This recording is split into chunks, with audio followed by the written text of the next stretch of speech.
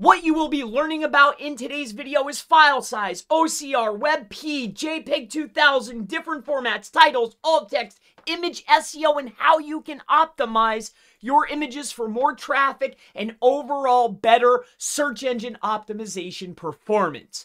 My name is Chris Palmer, and I do not want to waste any time. Let's get directly into the image SEO tips. So, the very first thing is going to be yes, Google's reading your images. So they're reading your images on a magnitude of different levels. I have shown Google Vision in the past, but it's even simpler than that. If you go over to the convert PDF and photos to text right up from Google, they're going to break things down for you, not because we want to convert things, but we want to understand how Google is understanding our images. So if you're not already familiar with what OCR is. All right, this is a type of technology called optical character recognition. Now there's free tools, there's cheap tools that literally you take an image, you put it in and it will extract whatever words are on top of the images.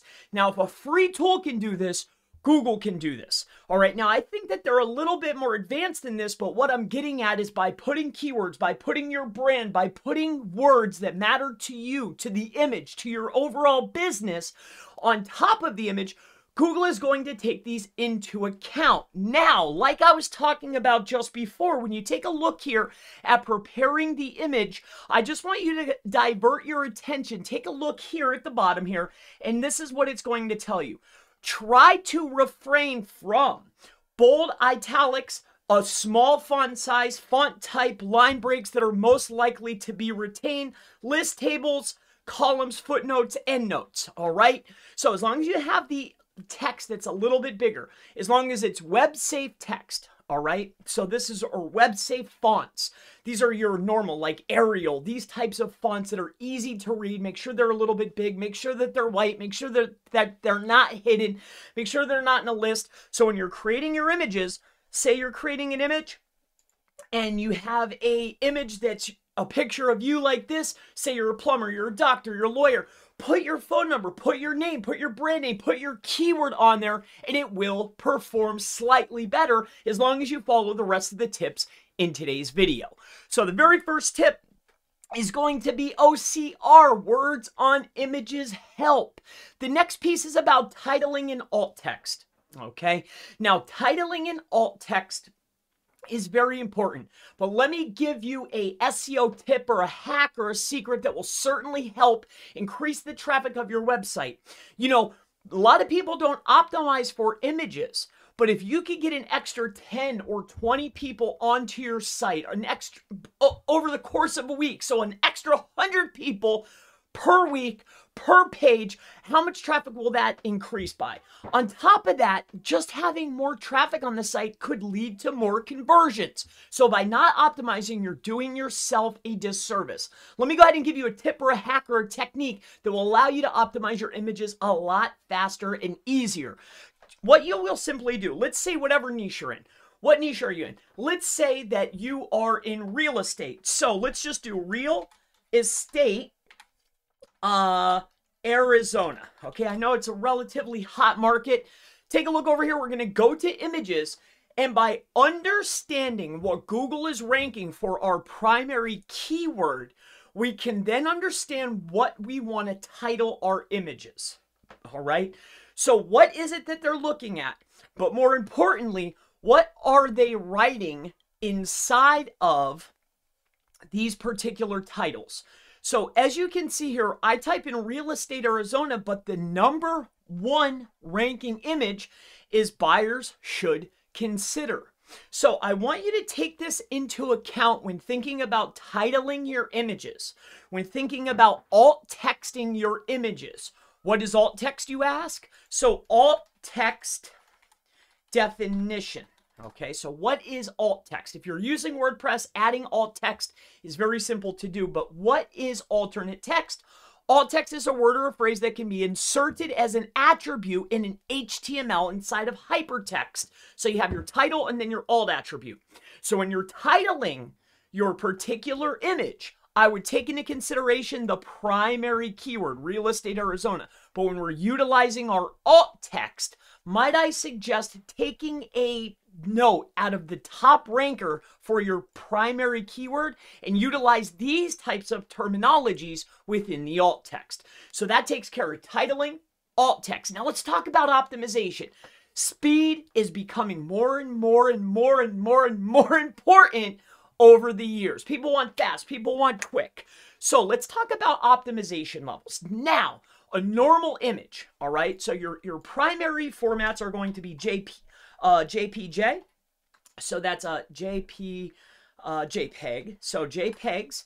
So JPEG image, a JPEG image is a, is a type of format. It's relatively large, but smaller than a than a PNG. Now, PNGs are historically better quality images. JPEGs are slightly less quality, but more compressed. Now, if you want to keep your website fast, if you want to get a slight enhancement over your competitors, there's a magnitude of tools out there that will allow you to compress your images very small. Now, if you're using WordPress, there is tools like Imagely and all these other types of image optimization tools that come with your SEO optimization tools. But if you're not using those types of plugins, let me go ahead and lead you to next gen image formats. Now there's two that I like to use. Let me go ahead and share those with you. And there, yes, there's free converters online. You can take your images, put them into the converter converters before you upload them to your WordPress site, your HTML site, your Joomla site, whatever site you're using you can go ahead and take care of this first. Let me go ahead and share these with you. So the first one is JPJ2000. So you can actually do this. You can put in your uh, JPEG to JPEG 2000 converter. Okay.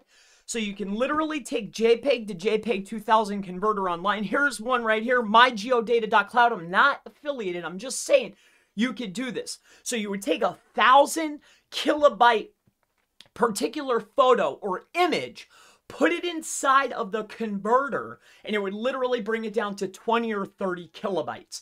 Now, on top of that, a lot of these tools, what they're utilizing is another one. So that's JPEG 2000, but a lot of these tools, what they utilize is something that is called WebP.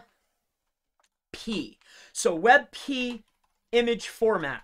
Okay, so how about this? Let's say it's going to be PNG to WebP converter free online. That's all you have to type in. That's all you need to do. How to convert a PNG to WebP. All right. So convert images to WebP. This is again going to take an image that's very large. It's it's lossless. You're not going to lose quality. You're going to it's going to compress the image, make it smaller, make it faster, make it better. So let's recap. All right. From the very beginning till the very end. All right, we're going to do a quick recap. This way we can utilize all of these tips all together. So, number one is image on, or I'm sorry, it's going to be text on image. All right, use keywords or brand on images. And why is that? Because of something called OCR, that's optical something recognition. All right, I forget off the top of my head, but it's called OCR. And Google also gives you clear, clear, and precise instructions on what to do. Are they reading it? Definitely. They're reading the words on top of the images. So much so that they actually have a tool that already does it where you can just do it easily online. And they're giving us the breakdown here on support.google drive answer. They're giving you the answer here. You can take a look at that for yourself. Number two, all right, let's move on to the next tip. The next tip, okay, is going to be this. So number two is titles, okay? Number three was alt text, all right? So for titles and alt text, let's make this as easy as possible. We're using a primary keyword, real estate Arizona, okay?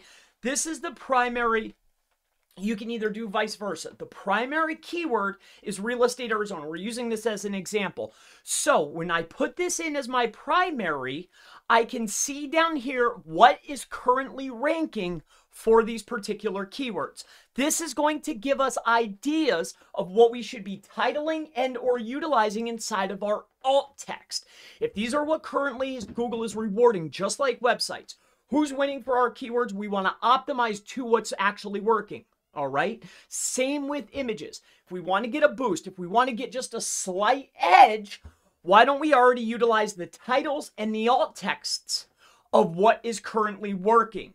Now, again, let's say that we're using this one. You would go over to the site, even if you wanted to take it a step further and say, hey, what are these guys doing? You could take this a step further. This is a tool set called SEO Meta in one click. If you really want to get crazy, we could see here that, okay, they titled it this or they titled it that. I'm not saying Pick which one makes sense to you, but utilize some from the top performers. Once you have the title, then we need to figure out, well, what did they use for alt text because they're ranking so high? Again, this could lead to more traffic and more conversions, even if it's just 10 extra people a week, times how many images, times how many pages you have. You get where I'm going with this? So, but here, SEO Meta in one click, what this will do is if you take a look at all of these tools, we go to the alt text, and then you can come in here, Fabulous Arizona is the alt text that they used. Fabulous is probably sentiment for like good, for neat, cool, best, top. Fabulous for real estate is probably a sentiment word related. All right, so this is alt text. All right. So alt text, we want to see, just like titles, what's currently working, where can we get the edge? So we talked about titles, we talked about alt text, we talked about text on images and for optimization. All right. So yes, if you're using WordPress or some other type of CMS, there are tools that automatically do that. But if you're not, please take your PNGs, take your JPEGs, all right, and let's compress them using one of these two formats. These are next gen formats. They compress it so small. So what you're looking for is JPEG 2000, okay, or WebP. So all you need to type into Google in order to do this beforehand, have your VA do it, have a Fiverr guy do it, have anybody you want do it. You can do this in five minutes. Take a lot of, there's even batch editors. So all you have to type in is simply this, PNG to WebP converter online free. All right, that's all you got to do, or or or PNG to JPEG 2000, or JPEG to JPEG 2000. There's even another one called JPEG XR. There's a magnitude of things that you can do. So as we ran through this, we have text on the images, use the keywords and or brand names to get more association and get even more of a boost. Why? Google's reading it. Two, titles. Optimize your titles based on what's currently working. Why? Because Google's rewarding this. If we want to get rewarded, why not do what's already working? Same with the alt text. What is your leading competitor doing? Follow the lead. Next, for optimization, let's talk about next gen formats like JPEG 2000, like WebP. Let's get it super hyper optimized. And I'm going to give you a bonus here for you local guys and gals out there.